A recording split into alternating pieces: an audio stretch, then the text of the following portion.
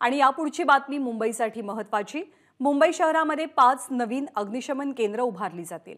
कांदिवली पूर्वेमधल्या Thakur village Kanjurmarg पश्चिमेकडच्या L B S Marg Santacruz पश्चिमेकडील जुहुतारा road चेंबूरमधल्या Mahul road आणि अंधेरी पश्चिमेतील आंबोलीमध्ये अग्निशमन दलाची नवी केंद्र स्थापन होतील. पालिकेच्या दोन हजार बावीस तेवीस आणि तेवीस चोवीसच्या अर्थसंकल्पातही याची तरतूद करण्यात आलेली होती. केंद्र बांधण्याचं काम नगर अभियंता विभागाच्या वतीनं हाती घेण्यात आलंय. यापैकी कांदिवलीतील अग्निशमन केंद्राच्या कामाला गती दिली जात असून हे केंद्र वर्षअखेरपर्यंत सेवेत येण्याची शक्यता आहे. तर दुसरीकडे कांजूरमार्गमधल्या केंद्रासाठी पायाभरणी झालेली असून आगामी दोन वर्षात हे पूर्ण करण्याचं उद्दिष्ट आहे.